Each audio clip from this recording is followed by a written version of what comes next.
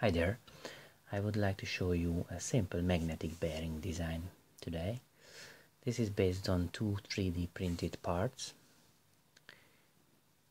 housing the flat rare earth magnets.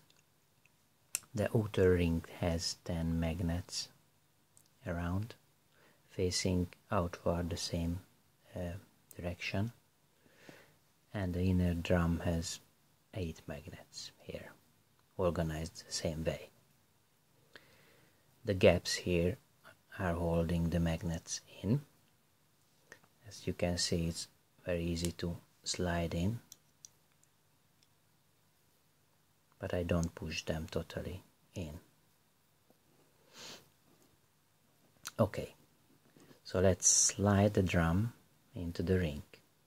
This is when the fun starts you see the drum jumps into position and kind of locks in vertically but it's still very easy to spin around.